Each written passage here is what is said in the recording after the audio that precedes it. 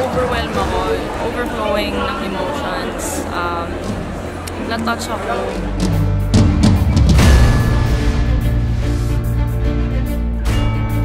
Naalala ko yung ano eh, nung bata kasi ako. Yun yung hindi ko masyadong na-experience with my dad. So parang yun yung sana na, na ano ko, na, na na-experience ko nung bata. Pero I'm grateful kasi super uh, talaga ng parents ko sa akin. Um, nakaka ano, nakaka nakaka good vibes. Feel light. Feel very lucky to have them sa team ko.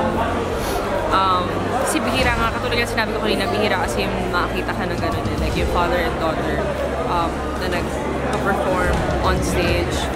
Tapos yung sobrang baby palibagets, di ba? And I definitely know na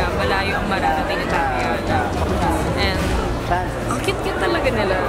I, I feel like they can do so much pa sa mga susunod if they were to, you know, like proceed sa sa next battle round.